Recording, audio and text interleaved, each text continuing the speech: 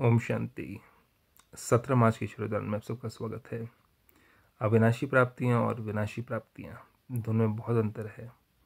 तो आज परमात्मा हमें रियलाइज़ कराते हैं फिर से कि अविनाशी प्राप्तियों की स्मृति से अपने श्रेष्ठ भाग्य की खुशी में रहने वाले इच्छा मात्रमा विद्या भवा इच्छाएँ किससे? अपने आप से इच्छाएँ।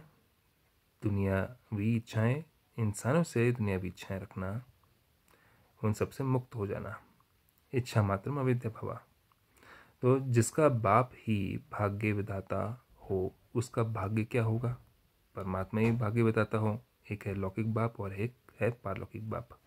किससे क्या मिलता है हम हर चीज़ जानते हैं।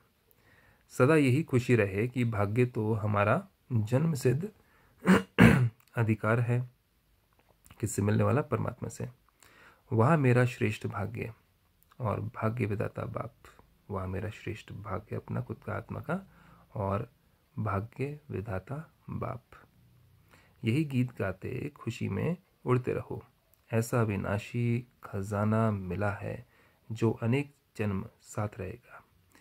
इस जन्म के जो भी हम धन, दौलत, संपत्ति, पदार्थ, वस्तु, वैभव इकट्ठे कर रहे हैं, वो हमारे साथ नहीं जाएगा, जानते हैं? तो फिर जाएगा क्या? हमारे मन के विचार, हमारे बुद्धि की सोच और भावनाएँ और भाव और तीसरा हमारे संस्कार या हमारी हैबिट्स या हमारी नेचर यही हमारे साथ जाएँगी, जो कि खजाने हैं और इनको तीनों को चेंज करने के लिए परमात्मा खजाने दे रहे हैं। तो अविनाशी खजाना मिला है, जो अनेक जन्म साथ रहेगा, क्योंकि संस्कार जो होते हैं, एक बार अच्छे बना दी जाए चढ़ती कला में तो वो कई जन्म तक वो सस्टेन करते हैं, जब तक हम बॉडी कॉन्शियसनेस में नहा जाएँ। आस्ते आस्ते। कोई छीन नहीं सकता, लूट नहीं सकता।